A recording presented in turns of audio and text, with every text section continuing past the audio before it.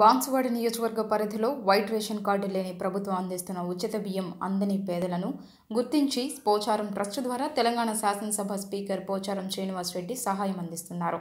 ప్రతి కుటుంబానికి ఇరవై ఐదు కిలోల బియ్యాన్ని ఉచితంగా అందించే కార్యక్రమాన్ని పోచారం శ్రీనివాసరెడ్డి ప్రారంభించారు. బీర్కూర్ మండలం తిమ్మాపూర్ గ్రామ శివార్లోని తెలంగాణ తిరుమల దేవస్థానం వద్ద స్పీకర్ పేదలకు బియ్యాన్ని అందించారు. ఈ సందర్భంగా స్పీకర్ మాట్లాడుతూ బాన్సువాడ నియోజకవర్గం పరిధిలో వైట్ రేషన్ కార్డు లేని వారిని గుర్తించి తమ నాయకులు బియ్యం పంపిణీ చేస్తారని స్పీకర్ తెలిపారు. బాన్సువాడ నియోజకవర్గ పరిధిలోని పేదవారు ఒక్కరు కూడా అన్నం లేక ఆకలితో బాధపడకూడదన్నారు. వివిధ కారణాల చేత కొంతమందికి తెల్ల రేషన్ కార్డు లేవు. అది రాష్ట్ర వ్యాప్తంగా ఉంది.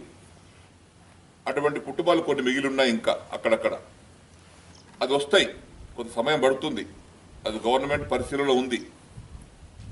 కాబట్టి అటువంటి తెల్ల రేషన్ కార్డు లేనటువంటి వ్యక్తులు ఎవరైతే ఉన్నారో పేదవారు వారి యొక్క ఆహార భద్రత కోసం నేను ఈరోజు మా సొంతంగా పోచారం ట్రస్ట్ పేరుతోటి ప్రతి కుటుంబానికి ఇరవై ఐదు కిలో బియ్యం వేయాలని నిర్ణయం తీసుకొని ఇప్పుడే భగవంతుని సమక్షంలో దేవుడి సమక్షంలో ఇరవై ఐదు కిలో బస్తాను పేద లబ్ధిదారులకు అందజేశాం.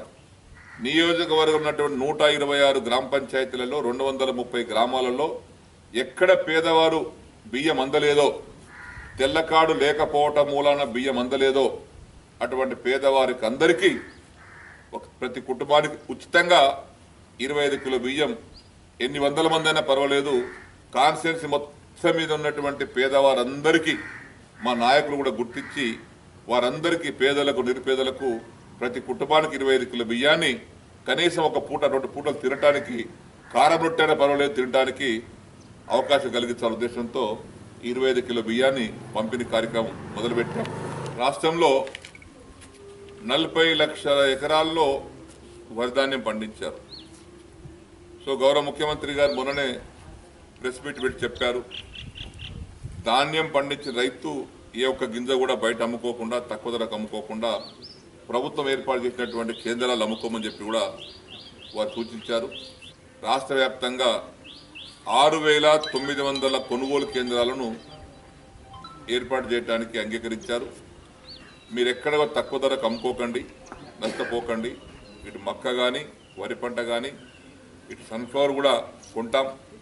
కాబట్టి ఎక్కడ ఇబ్బంది పడకుండా గుమిగూడకుండా మీరు పండించిన ధాన్యాన్ని ఎండబెట్టి మంచిగా తీసుకొచ్చి కొనుగోలు కేంద్రాలు అప్పచెప్పండి మీ బ్యాంకు అకౌంట్ నంబర్ ఇచ్చినట్టయితే ఆ డబ్బు కూడా మీ ఖాతాలో డబ్బు ఇస్తాం. తర్వాత మీరు తీసుకోవచ్చు. రాష్ట్రంలో ఉన్నటువంటి నలభై రెండు లక్షల మంది పేదవారికి పెన్షన్స్ మొదలైనవి ఆ పెన్షన్ తీసుకునేటప్పుడు కూడా అందరూ ఒకేసారి రాకండి. ఒకరొకరుగా వచ్చి మీ పెన్షన్ తీసుకెళ్ళండి. దూరాన్ని పాటించండి అని చెప్పేసి కూడా విజ్ఞప్తి చేస్తూ అందరం కలిసికట్టుగా ఉండి ఆ భగవంతుని యొక్క దయ వల్ల ఈ కరోనా వ్యాధిని పూర్తిగా నిర్మూలించుకుందామని ప్రార్థిస్తా ఉన్నాను